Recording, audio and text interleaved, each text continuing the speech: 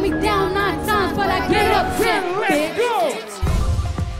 Put her down nine times and she get up 10, or get down 10, considering that floor twerking that had the crowd shook at the 2018 BET Hip Hop Awards as Cardi B performed Get Up 10 and backing it up with Pardison Fontaine.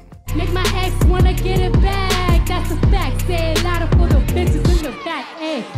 This performance makes me want to quit hosting right now and take my twerk skills to the bank, cause Cardi killed it in fatigues with the dancers, the sass, and that red hot verse. Perhaps my favorite part though is the expression on Atlantic Records newcomer Pardison Fontaine as he was overwhelmed by the star power that is Cardi. I know how to go and get a bag, don't ya? I know how to make a bitch mad. Don't I? Make your ex wanna get it Cardi also snagged four BET Hip Hop Awards at the show, telling the crowd, I'm thankful and I'm grateful. For the full performance, head over to our article at Billboard.com. For Billboard News, I'm Tetris Kelly.